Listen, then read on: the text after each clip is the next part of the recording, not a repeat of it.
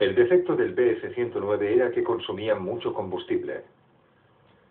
Generalmente, cuando llegaban a Inglaterra, le quedaban solo 30 minutos de combate.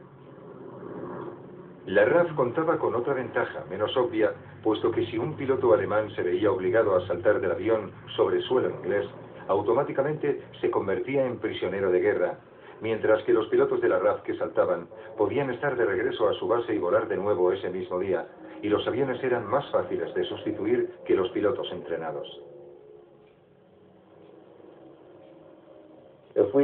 Si nos derribaban, podíamos saltar y normalmente caíamos en territorio amigo. Los alemanes eran derribados sobre el mar o en territorio enemigo.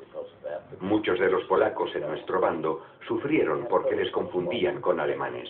Teníamos polacos y franceses en el escuadrón. De hecho, teníamos al único noruego, John Scalf. Pienso que los escuadrones mixtos solían tener la moral más alta que los otros.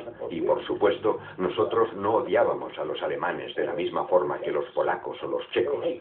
Ellos realmente los odiaban. Y cuando entraban en combate, lo hacían muy en serio.